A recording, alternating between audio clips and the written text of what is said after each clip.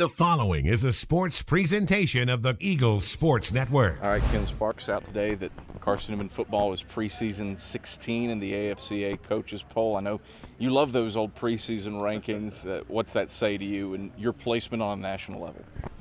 Well, we actually uh, finished uh, in the top 16 last year, so I guess that's about where we finished last year, and that's usually where the vote goes. And so, um, not surprised, and uh, and nobody knows this time of year. You know, everybody's had, has got additions, and everybody's had losses, and so. Uh, uh everybody's going to have a different chemistry than they had last year, and so who knows?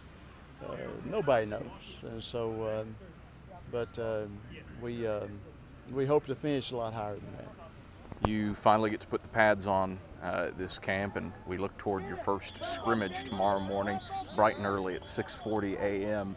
Uh, who needs to step up? Who needs to have a good scrimmage to separate themselves on the depth chart? Well, everybody does. I mean, it's wide open right now. In fact, is we don't even have a. All we got right now is a position chart. We don't have a depth chart, and very seldom do we have a depth chart. But we will start evaluating units, who, who we think can fit in this unit, who can fit in this unit, and, and start making some decisions along those lines. And uh, the scrimmage tomorrow will help us do that because that'll be the first time that we actually have, uh, uh, have seen them on the field by themselves and see how they're going to respond. How nice has it been to actually put the pads on? Oh, it's wonderful. I mean, you know, it's like, uh, you know, it's like going hunting with blanks, you know, when you don't have, you know, when you don't have pads on. So uh, if you, uh, I, I, never have seen anybody enjoy going uh, bear hunting with blanks in their gun, you know, and so, so we'll find out a little bit more tomorrow, a whole lot more about ourselves. What's the response been from this team from uh, an internal aspect?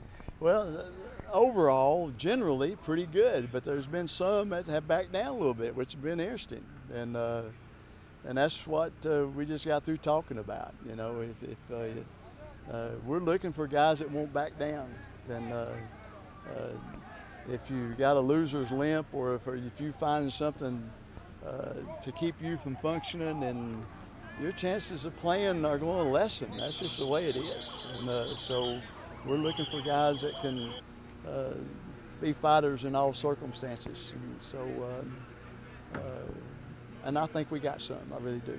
Ken, thanks for the time and congrats on the preseason ranking. Thank you. I appreciate it.